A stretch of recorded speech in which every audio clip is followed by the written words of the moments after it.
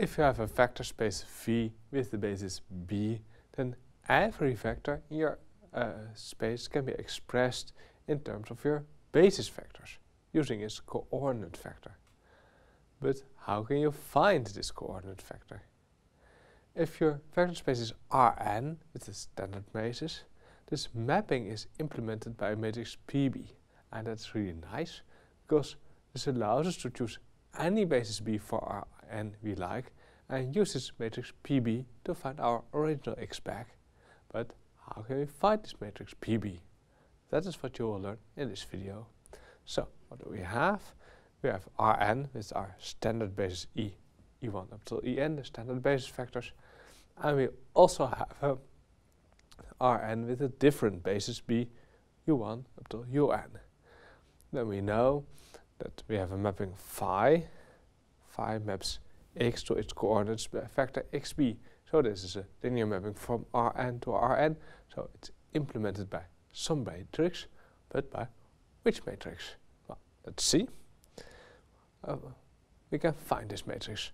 First we start below by setting xb as c1 up till cn. xb is the coordinate vector of x, so it has n components because in the basis b there are n vectors. Then if xb has coordinates c1 up till cn, you can find back x. x equals c1 u1 plus c2 u2 plus c3 u3 up to cn un. So there we have our x. And then we see that we can write this x as a matrix times vector, as a matrix consisting of u1 up till un, as a vector c1 up till cn. And now we see what we have to choose as our PB. Uh, we choose as our PB the matrix with the u1 up till un, because then we see that our original x over here equals this matrix PB times xb, because this vector with c1 up till cn was xb. So now we have a matrix which allows us to uh, um, express uh, x in terms of xb. We have to be a bit careful though, because this matrix PB, as we define it now, maps our xb onto Rx. And the phi b goes the other way around. So the matrix of uh, phi b would be PB inverse.